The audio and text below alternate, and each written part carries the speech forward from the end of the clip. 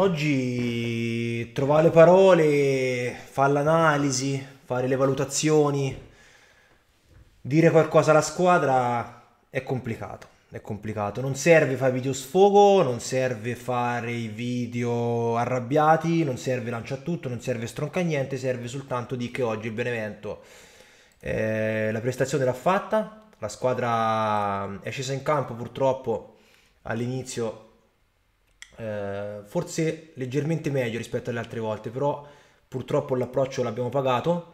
Abbiamo preso gol alla prima imbucata dell'Udinese, alla prima verticalizzazione. De Paul ha imbucato molto molto bene per, per Molina. De Paul fuori classe assoluto, merita il salto di qualità, merita di andare in, una big sicuramente.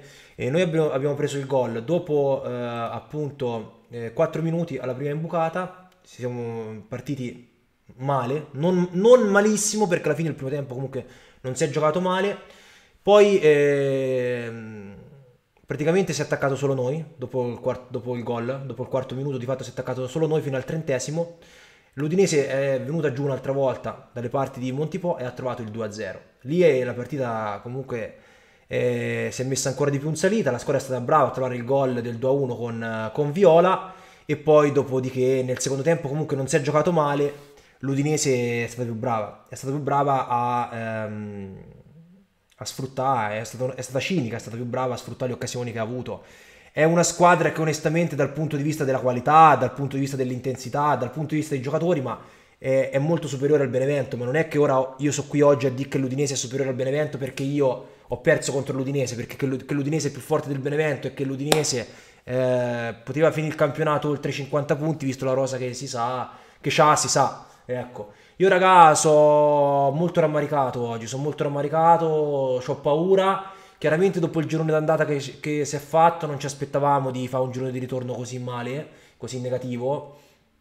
Se nel girone d'andata ci eravamo gasati, ci eravamo comunque stupiti, nel girone di ritorno ci siamo comunque eh, ristabiliti, siamo ritornati realistici, siamo comunque tornati con i piedi per terra, forse anche, anche, troppo, forse anche troppo, e è stato un girone di ritorno sotto le aspettative. Ecco, se il girone d'andata era stato al di sopra delle aspettative, il girone di ritorno è stato al di sotto delle aspettative.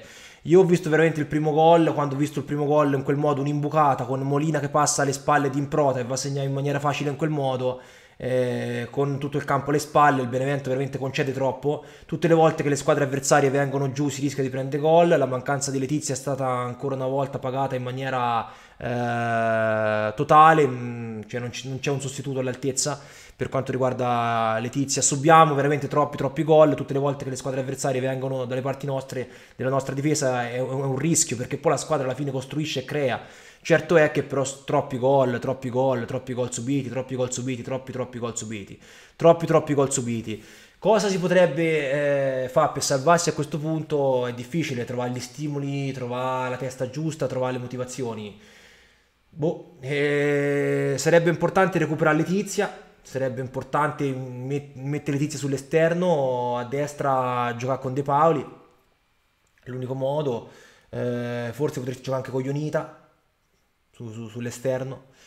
Sau sta fa bene, poi anche lui si è rotto, sfiga totale, è entrato Gaik a un certo punto, a centrocampo Dabo disastroso, Dabo disastroso, Dabo disastroso, Viola è uscita a fine primo tempo, non so che aveva. Io vi dico, provare con 5-3-2, provare con 5-3-2 o addirittura con 5-4-1. Con 5-4-1 e ti giochi, ti giochi le partite con, ehm, con Crotone, Cagliari e Torino in maniera decisiva. Scontri diretti sono decisivi a questo punto, vediamo quello che famo. Vediamo quello che famo, bisogna cercare in questa settimana di ritrovare un po' gli stimoli, di ritrovare un po' la testa giusta, di ritrovare quella compattezza, quella grinta, quella determinazione che ci ha contraddistinto nel girone d'andata però rimane la delusione. Rimane la delusione perché la squadra veramente quando subisce sembra essere lo sbaraglio. Perché poi, ripeto, la squadra crea. Non capisco anche perché a, a gennaio, come come avevo, detto io, non si, non si, è preso Cataldi.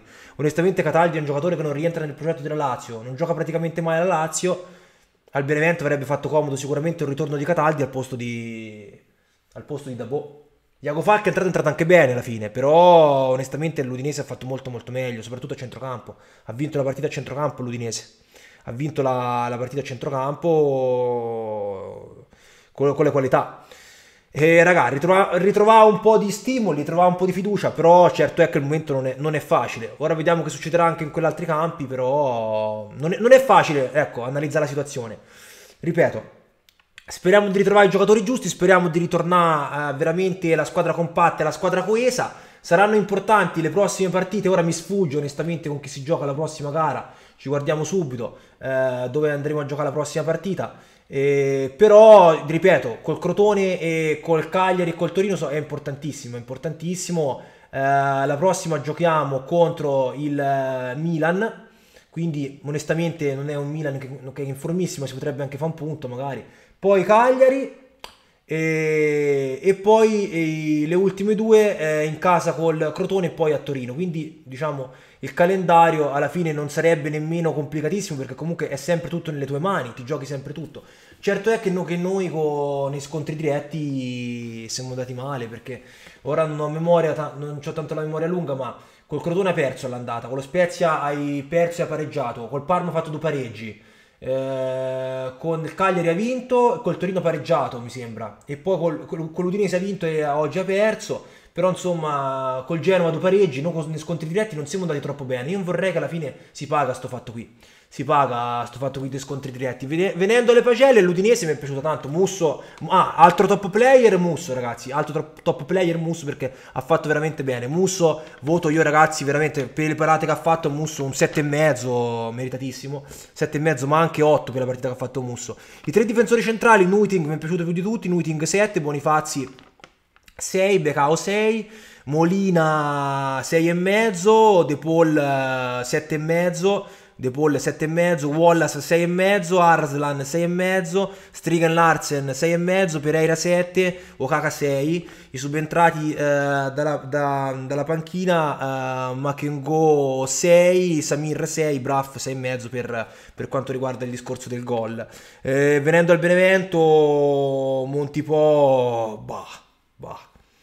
Montipò alla fine nei gol eh, poteva fare poco. 5. Glick, eh, Caldirola e Barba, tutte e tre 5, raga, come può dargli di più. Viola 6,5, Schiattarella 5,5, Dabo 4,5, cioè Dabo scandalosa la prestazione di Dabo. Temai 5, Improta 5, De Paoli 5,5, eh, Sau 6, la Padula alla fine ha giocato bene, la Padula 6,5, che dico di ha lottato.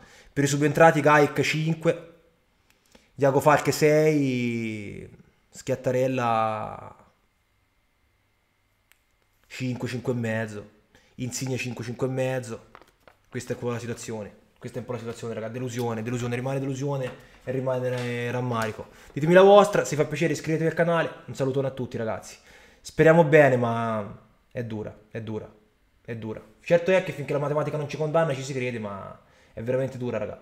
Salutone, ciao ragazzi. Sempre forza Benevento comunque, eh. sono deluso, ma sempre forza Benevento.